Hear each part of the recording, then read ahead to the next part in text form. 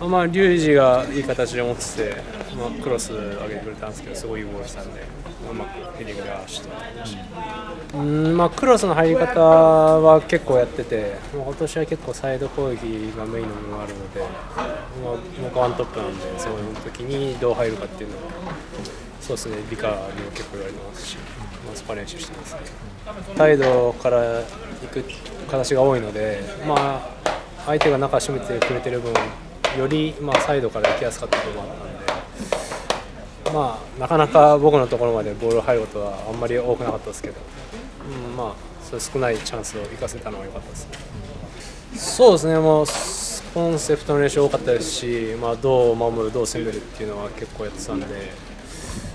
まあ、